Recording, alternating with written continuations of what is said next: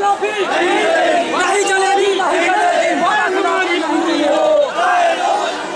चलेगी नहीं चलेगी।